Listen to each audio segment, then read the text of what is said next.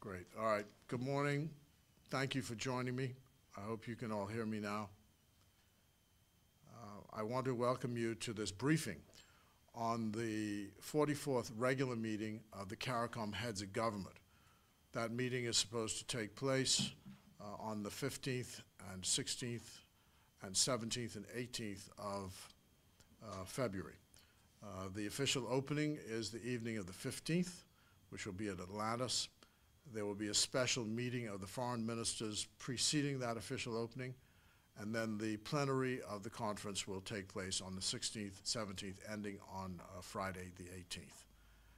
And we have uh, the heads of government from the CARICOM region. There are 14 nations in CARICOM, plus the associated states like Bermuda, uh, the BVI, and um, Montserrat, and the Turks and Caicos Islands, who will all be attending. Um, The special, there's a list of special guests who will be coming in, amongst them uh, Prime Minister Justin Trudeau of Canada, and there will be an address at the start of the conference, the President of Ukraine by video link, uh, President Zelensky. Uh, So this is um, a meeting, set of meetings which takes place, these meetings take place uh, twice a year, once in February, and then once on the 4th of July in the summertime. The Bahamas took over the chairmanship of CARICOM under its Prime Minister Philip Brave Davis on the 1st of January, and his chairmanship will expire on the 4th of July when he hands over to Dominica. Uh, We expect um, an exciting conference. Uh, There's a special delegation of American uh, government officials coming in, uh, headed by Brian Nichols, who's the Undersecretary of State for Western Hemisphere, and including John Kerry, who is a special representative of the United States President, and John Dodd, former senator, and who is also a special representative of the U.S. President. And they will be here for the duration of the conference. Uh, Joining us will also be uh, representatives from Korea, South Korea, because they are campaigning for the support of CARICOM countries for the vote at the Bureau of International Expositions in Paris for the exposition in the year 2030. Uh, The Assistant Director General of the Food and Agricultural Organization will also be coming, as will the um, Secretary General of the uh, World Trade Organization, and um, that will be a- a very important visitor. The President of the AFRI uh, Import-Export Bank will also be coming, and some 40 or so ambassadors will be visiting uh, during that time, so there'll be a range of bilateral meetings taking place in the margins of the meeting. Uh, We hope to put the best foot forward of the country, and uh, security, of course, will be a key issue, given the number of important visitors that, that will be in town, and we want to show them the best of our country, uh, have the ability to move around our country freely uh, without having security concerns, so we'll be trying to take a great deal of effort and care uh, in that. Uh, I want to congratulate the Prime Minister uh, for his assumption of office, and I'm sure he will uh, carry out the job with his usual aplomb, and we expect Recording in a, progress. a successful conference. So, if you have any questions, I'd be happy to answer them. Mr. Mitchell, what would be some of the, some of the topics that would be discussed at this meeting? So, the Prime Minister, in an address at the Outlook Seminar, which took place at the start of the year, laid out his priorities for, in foreign affairs. And the major priority is the issue of climate change. So he has said, and has been traveling around the world, beating the bushes on this subject, because for the Bahamas, climate change is existential. And that means quite simply this the sea level is rising around the world. And in the Bahamas, 80% of the land is within three meters of the sea. So that means that if there is sea level rise, the country will disappear, or as he says, will either be uh, refugees, climate change refugees, or die in a watery grave. That's the stark reality of what is happening. So we need to have a couple of things done. Money is the key issue. Money for adaptation and mitigation, and money for uh, loss and damage. And these are front and center uh, on the international stage. Uh, the government of the United Arab Emirates is sending their representative, their Minister for International Development is coming. Uh, that's where the COP28 is going to be in Dubai in the winter. And again, these, th- these two subjects, loss and damage, mitigation and adaptation, will be front and center. And what you're trying to do is to lobby the world to provide the funding to deal with these issues. We are not major emitters, but we are suffering the consequences of the emissions in the air. And we are trying to, our best to uh, keep our heads above water, pardon the pun, uh, but uh, it takes money to do so. And he's indicated, the Prime Minister's indicated that almost 50% of our national debt is due to climate factors. So we would have been 50% better off had those events not occurred. And that is a very serious figure.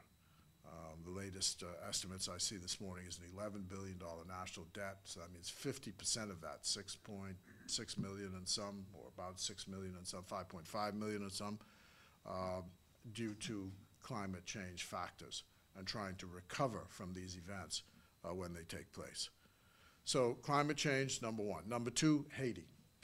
Uh, you know that Haiti has been descending into chaos as a result of the collapse of their political system. Uh, and the countries of the world have been trying to see, and in this hemisphere, trying to see what we can do to help.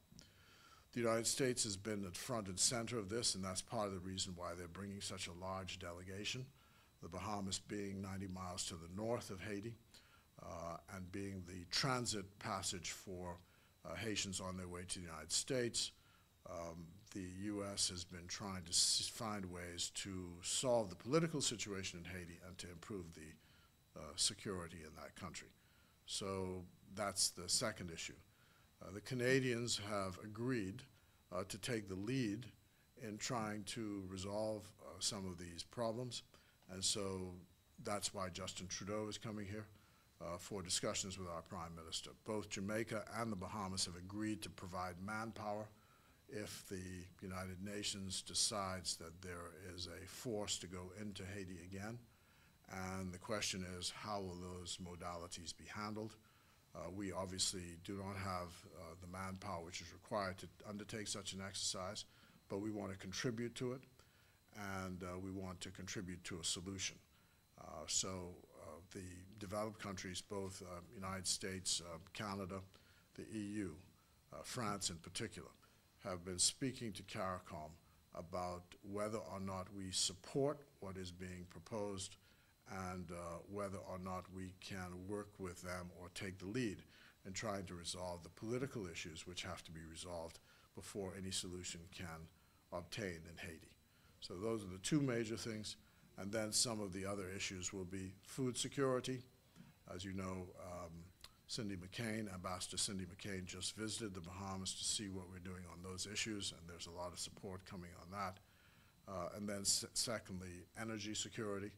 Uh, part of what our problems are for development is the fact that uh, energy supply is so expensive in the Caribbean region, and we need to take steps to try and see how we can resolve those problems.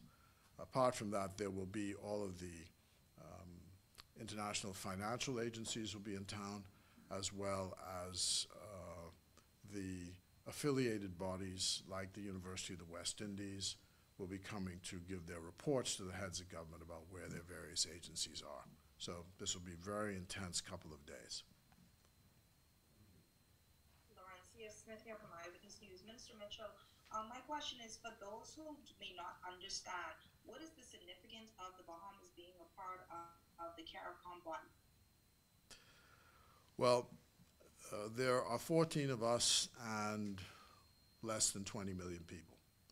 In a world of 9 billion people, that's very small. You have 192 countries in the United Nations. So the question is, how do you relate to the outside world? the more efficient way of dealing with the outside world is as a group or as a region. So in the United Nations, the world is divided into regions. And the region of which we are part is called Latin America and the Caribbean. So we've just come from a meeting called CELAC, where all of the countries in Latin America and the Caribbean meet as a region to discuss what our aims and objectives are.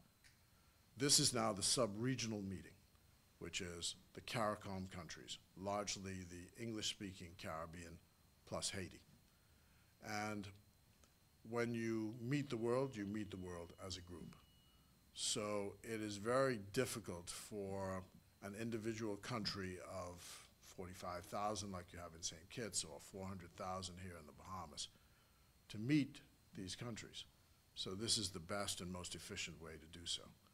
And in a world where these things in international bodies are decided by votes, our votes count.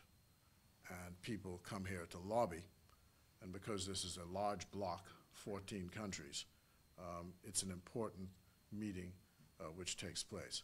So I've often said to our own population, if CARICOM did not exist, it would have to be invented, because it's simply the most efficient way for all of these small countries to deal with the outside world.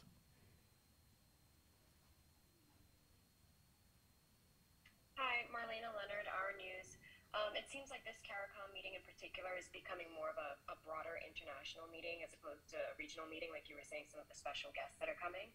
Um, specifically with Canada and the US, is there any concern that with some of these larger, more developed countries that the dynamic might shift a little bit in discussions um, just because they're far more influential on the global stage usually, or do you think it'll stay the same as far as regional leaders staying true to, to what they're coming there for?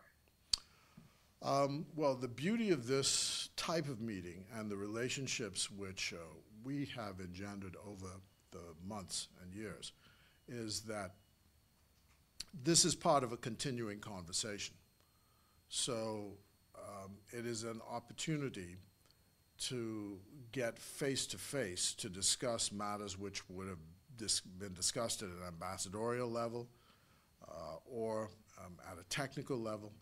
But this is where the heads of government, the people who actually make the decisions, get to meet. And that's the importance to the world leaders who are coming, is to find out face to face what is the view of the actual leaders of the country, quite apart from the technical people or the ambassadors or the ministers of foreign affairs. Uh, so I don't think the dynamic is going to change, but you know it makes a difference when you're meeting face to face. So you have the President of the United States sending his special envoys to the Bahamas to speak to the uh, heads and to speak to the foreign ministers to say, here's what we're thinking about a particular issue. What do you think? And I think that that informs their policy going forward.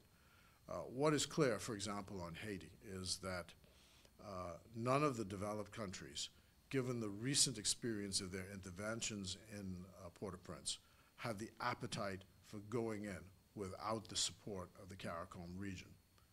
Uh, reputationally, many of the countries uh, suffered. Uh, Brazil, for example, had such a bad experience with Haiti that they've just said, this is not something that we think we want to do again. And so many countries have said, well, what Haiti is part of CARICOM, what is your view about this?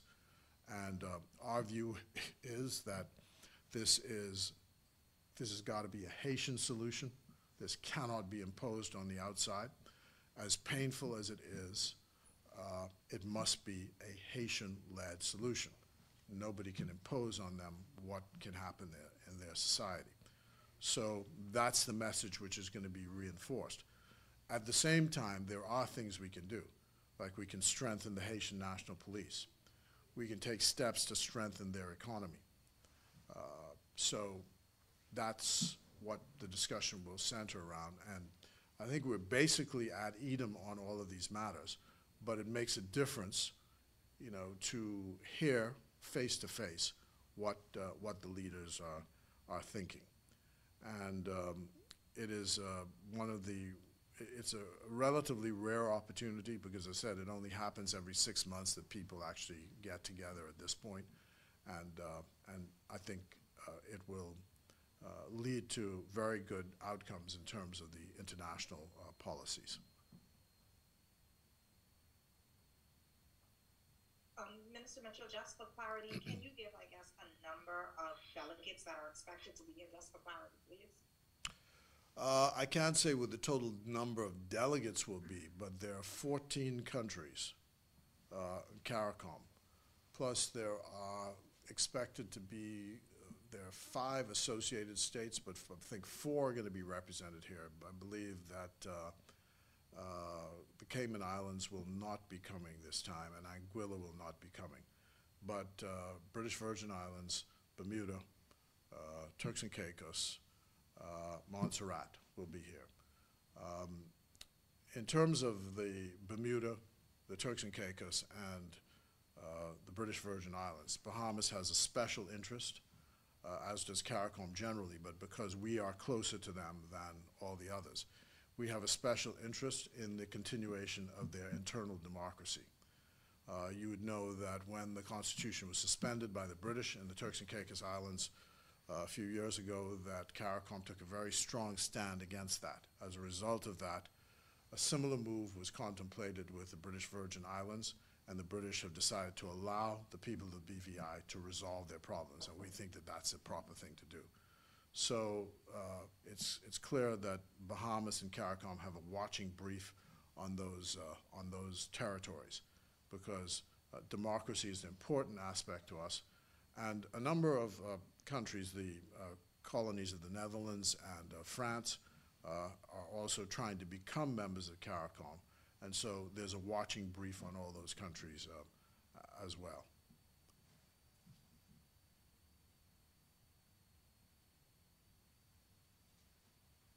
Anything else? I would say that we want to have uh, the broadest participation of the Bahamian public in this, and um, I didn't get to uh, to announce this in the House because some people were banging on the desk, so they couldn't hear. Uh, so I'm going to say it now. Um, each member of Parliament uh, has 10 invitations open to them, uh, so they should contact the Cabinet Office uh, or um, the Office of the Prime Minister for the delivery of those invitations to just give to their constituents who'd like to attend the various uh, uh, public functions like the state reception uh, and the opening uh, on Wednesday evening. So it's 10 each, um, so that you know ordinary citizens can have an opportunity for each member of parliament and each senator, by the way. So uh, they should be encouraged to collect those invitations and give them to people who would like to attend. Mr. Mitchell, is there a functioning government in Haiti? There is de facto a government, but de jure, what's happened is that the uh, parliamentary authority for the government has expired. And uh, there doesn't seem at this point to be an end in sight as to when elections are going to take place to give the uh, legal support for and constitutional support for a government. So in this sense, you can describe the government there as an interim administration uh, who are de facto running the government, but their job is to get the country to, to uh, elections.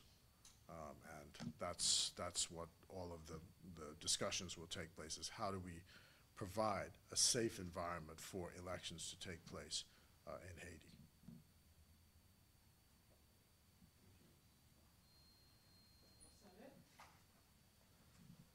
Thank you. Thank you, thank you. Eyewitness, you got what you needed? Yes, Mr. Mitchell, I did. All right, thank you.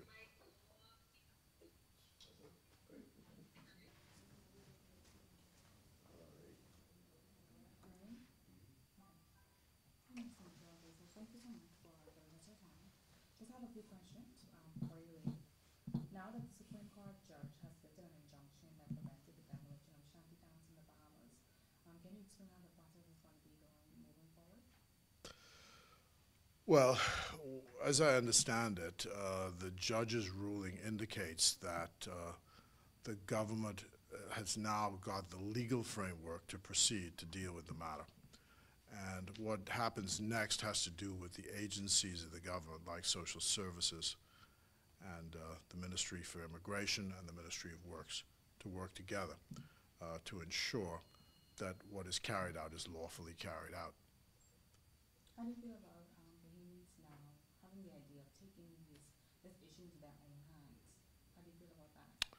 Uh, Well, we don't support vigilante justice. Uh, You can't support it, and uh, the law should be followed. We are a country of laws and rules, and we have an international reputation and a domestic reputation to obtain.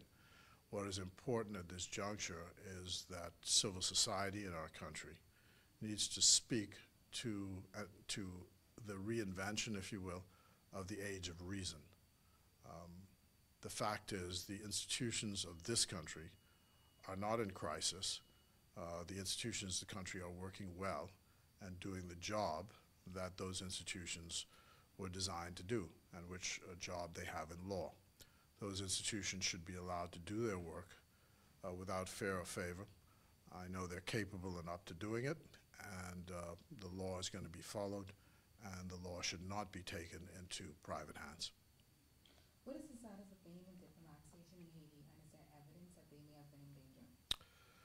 Uh, I can't say that there's evidence that they were in danger. They're in the Bahamas. They were withdrawn by order of the Prime Minister because of an incident, a spe- specific incident which happened with the Haitian National Police when there was a protest, which was also a protest against the interim government in Haiti.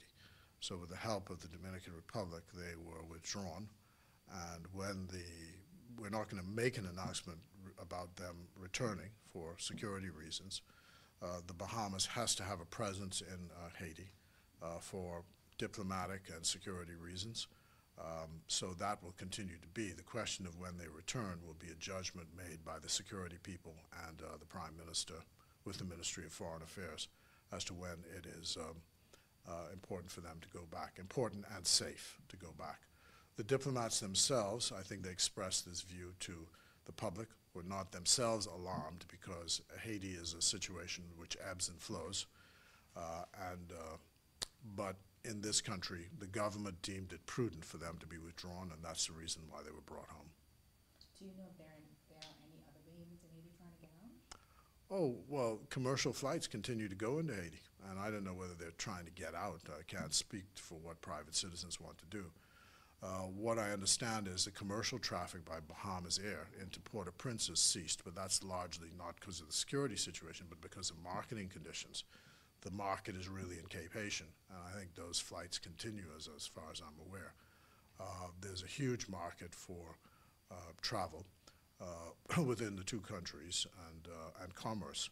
And um, I suppose as, so, as long as those markets are obtained, it'll be possible. What we're trying to do um, is to make sure that the decisions we make are rational not irrational, um, that they uh, favor uh, good relations in the short, the medium, and the longer term, and that uh, our reputation, both at home and abroad, remains intact.